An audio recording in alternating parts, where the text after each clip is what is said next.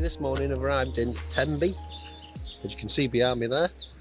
I haven't got my uh, gimbal on my phone this morning because I just set it up and batteries died unfortunately. I'm now in 10 minutes from Swansea and I'm here. Found free parking area and obviously I can just see over this wall, I can see everything I need to see. So I'm going to have a wander now, take some photographs, that's what it's about today, just take some photos while the tide's in. Once the tide goes out uh, and I go for have a break then have some dinner. Uh, the, the horizon's a bit wonky on this phone, forgive me, like I say, because I haven't got the gimbal on, but yeah, I'm going to go down there, take some photos and just crack on with it and uh, hopefully you'll see some of those later. I've just come down on the beach and I've got the rock in the foreground and um, the jetties or whatever you want to call boat jetties in the background there. It's a nice composition, quite like it. Uh, no, you can see, just one sec, we flip round. So that's the image I've captured so far. What I want to do is this here I love this reflection in the sand here. Obviously, in a long exposure, the tide's still coming over it at the moment, so it's sort of masking it a little bit. So what I'm just doing, I'm just waiting now for that tide to drop back a little bit more. I've done a shorter exposure, just show you. So I've done that one, and one sec.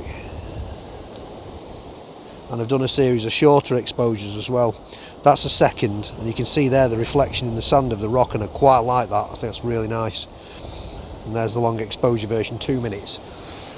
It's raining a little bit, so I'm, I'm battling against that and getting a bit of spray on me on my filter. But basically, yeah, just waiting for that tide to drop back a little bit more, just so I can catch that reflection in the sand a little bit better on the long exposure as well as the shorter one.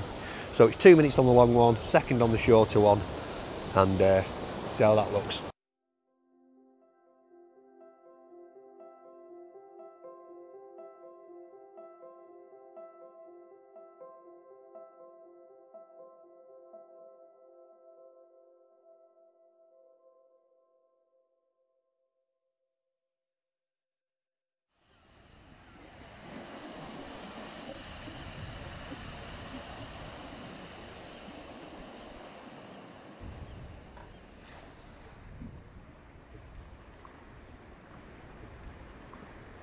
Just walk, come down the walkway, just walk through the town bit, and I will say this is this place is fantastic. I love it.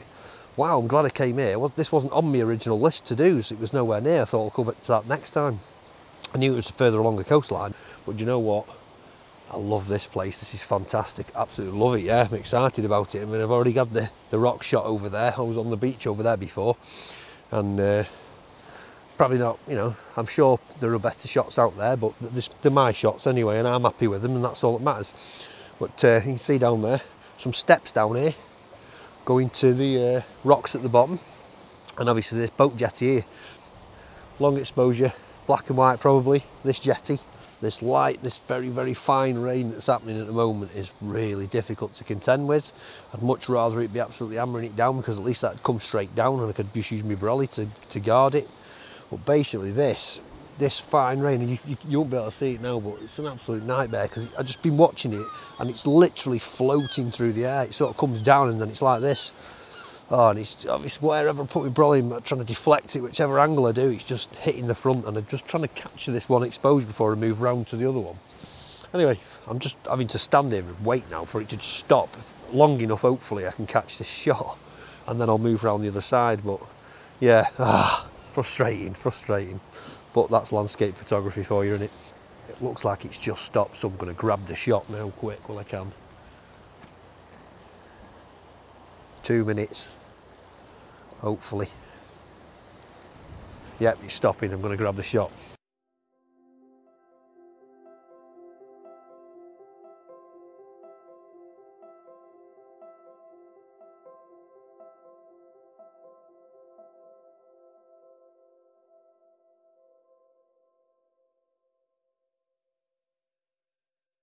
I have to say this place has just got bags of potential. The compositions here are endless. Oh wow, I've just come up here up this walkway past the uh, boat jetties. Look at this over here. Wow, it's, it's fantastic. Reminds me of some sort of like Alcatraz type thing, but like it's a fort, some sort of fort, isn't it? Yeah, the don't This place is awesome.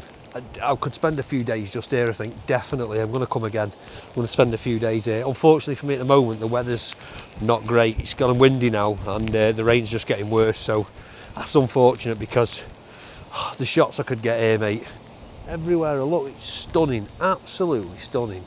So definitely, definitely going to come here again. Definitely. I'm just hoping this rain stops now so I can take some shots, but uh, looking like it's set for the day. But yeah, if it stops, obviously I'll grab some shots. I'm to go back, get the gimbal in a bit, do some video as well. But yeah, that is a fantastic view. There's some fantastic photography to be had here in the right conditions. I'm just to wait it out.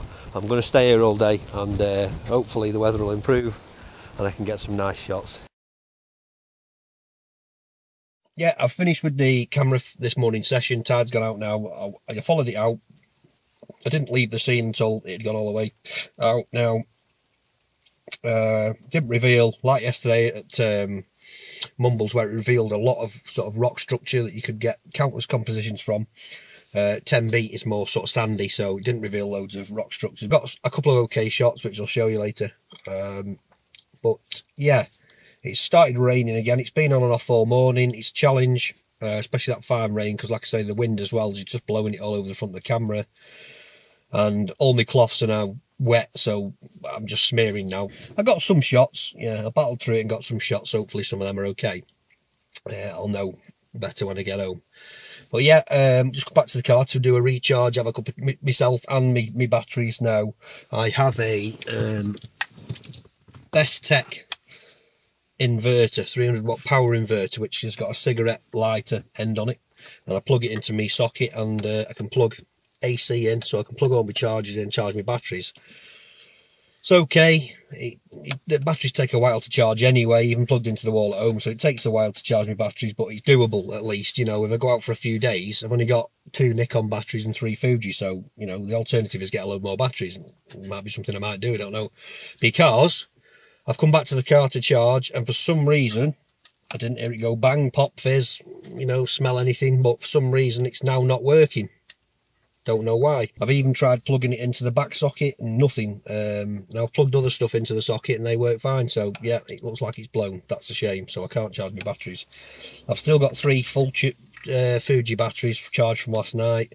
So um, I do plan on staying right through the day into the evening. I was going to stay through possibly into the morning, but obviously if I stay through into the morning, I've now got no way of charging my batteries, which is unfortunate.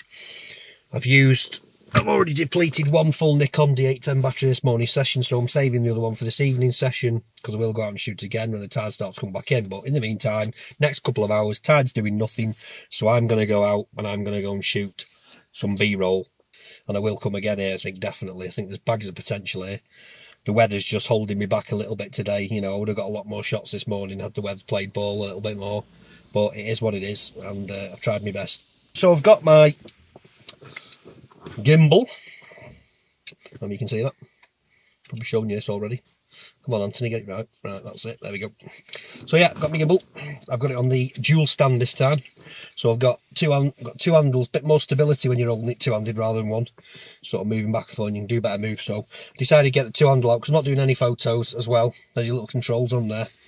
And obviously this balances up. It's not balancing at the moment because it's got the cap on. Believe it or not, that little cap makes all the difference. So yeah,